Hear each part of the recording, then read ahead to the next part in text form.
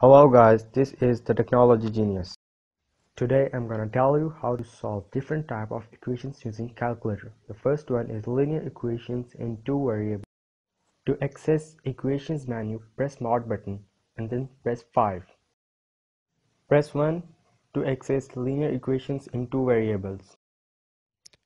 Consider this example. Simultaneously solving them, we get x is equals to 2 and y is equals to 5 and same is the case with the calculator. The second type is linear equations in three variables. Press mod button followed by 5 and then press 2 to access linear equations in three variables. Consider this example. Solving these equations we get 2, 4 and minus 3 as x, y and z. Input the values into the calculator as shown. Here we got the same values in a matter of seconds. The third type is quadratic equations. Press mod 5 and then 3 to access quadratic equations.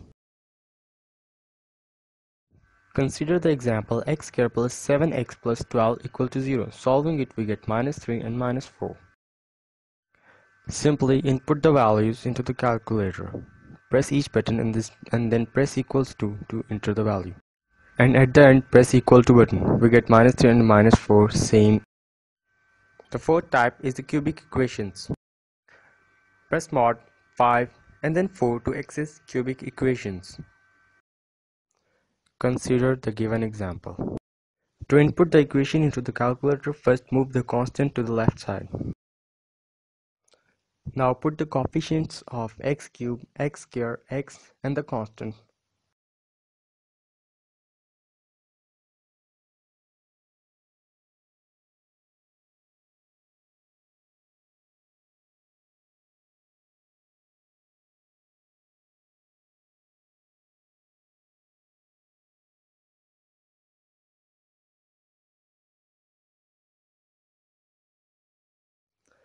By pressing is equal to button, we get the three values of x, as it is a cubic equation.